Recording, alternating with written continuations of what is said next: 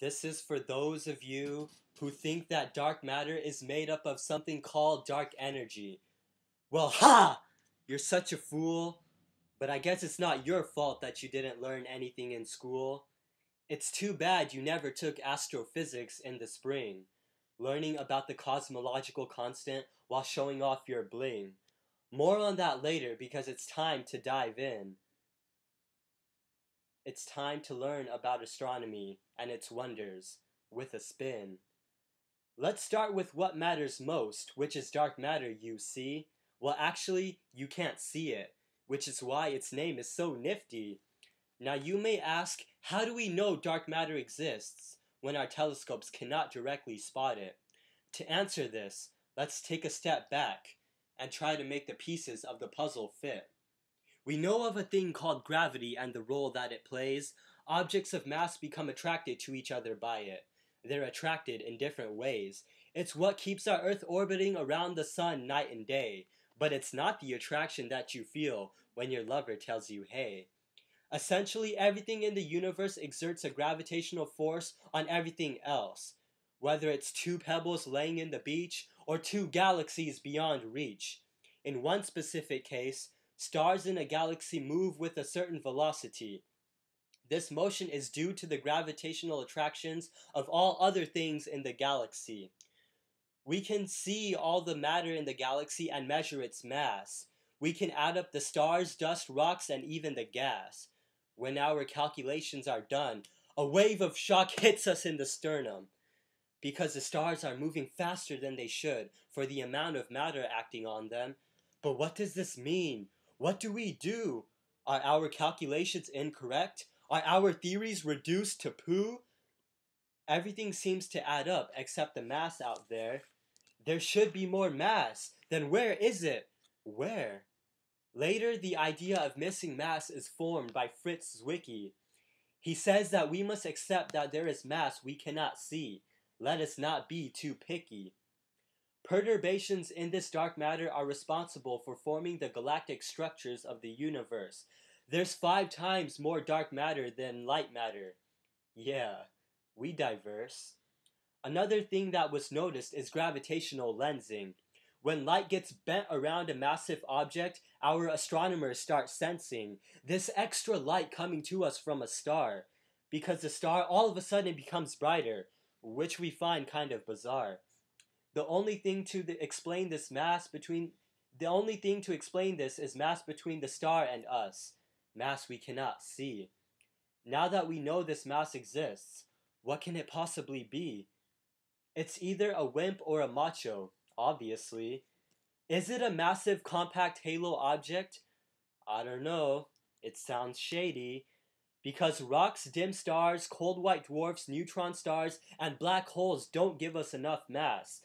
Yet the probability of dark matter being weakly interacting massive particles is still there.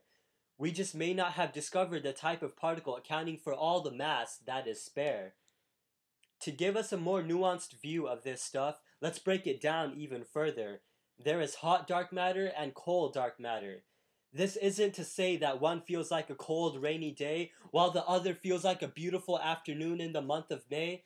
The difference between these two is actually the speed that they display. Let me quote what I read from Carroll and Ostlie yesterday. Hot dark matter consists of particles moving with relativistic velocities. The leading candidates for hot dark matter are massive leptons. Cold dark matter candidates are hypothetical particles that move slowly, such as the WIMPs.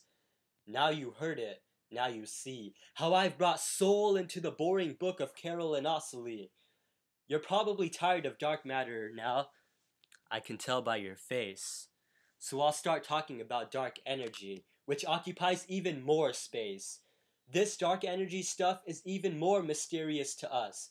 It's what keeps up Hilary Duff because she wants to learn more about the universe in a sense that is rough. She wants to be vague, but that isn't enough because to learn it all, she needs to know what dark energy is, which is tough. Coming back from that tangent, my tangential velocity increases. Just like the derivative of the velocity of our expanding universe, it is positive because it increases. We can thank dark energy for this accelerated expansion of the universe and everything we know. But when it comes to knowing what dark energy is, is the, is the only expression we can show. Yet there are a few things to say, which I'll mention. Dark energy is such a shaky concept, so I'll just give an introduction. Let me share with you the problem and we'll think of a solution. It's bigger than politics and wars, even bigger than pollution. A young cat named Alexander Friedmann was attempting to solve Einstein's field equations for an isotropic homogeneous universe. He came up with the Friedmann equation for a non-static universe. If we add a cosmological constant to this equation, things get a little crazy. Because if the value of the constant isn't zero, it means that empty space isn't really empty. Oh, baby! Empty space actually contains a dark energy, which causes it to expand. The more it expands, the more dark energy is created, and it continues to increasingly expand. The fact that this process of nothing actually creates energy has left astronomers devastated. Empty space contains matter and antimatter virtual particles which are created and annihilated. Some people from NASA say that this dark energy is just some energy fluid or field that fills all of space.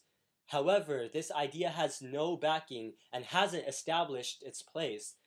Maybe to describe energy, we need a new theory of gravity. Good luck with that, mates. All I can say is that 73% of our universe is dominated by this dark energy. 23% is made up the, is made up of that dark matter around each galaxy. The remaining 4% is everything that we can see. How does that make you feel? Does it make you want to cry? Does it make you feel insignificant, washed up, and ready to die? Knowing that everything you see in the sky is only a fraction of the guy. The guy you are listening to. Yes, that is me. I am the universe I am baryonic matter, dark matter, and dark energy. So the next time you see me, please feel free to ask me how it started, how the universe came to be.